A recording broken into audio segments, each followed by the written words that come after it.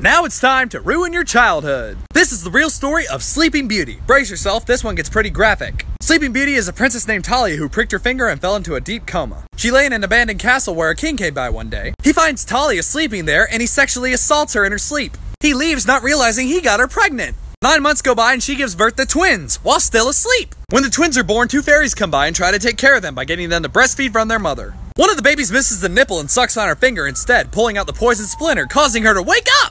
The king returns to try to go for round two, and he finds that she's awake, and she falls in love with him. By the way, he's married. His wife, who Maleficent is based off of, finds out about the whole thing and tries to feed him his own kids. But she didn't know that the cook actually set the kids free and he used a lamb instead. Then she finds Sleeping Beauty and tries to burn her alive. The king barges in on this, sees what's going on, and demands the guards push his wife into the fire instead. Having done nothing wrong, the queen got burned alive. And Sleeping Beauty wound up happily ever after with her rapist baby daddy.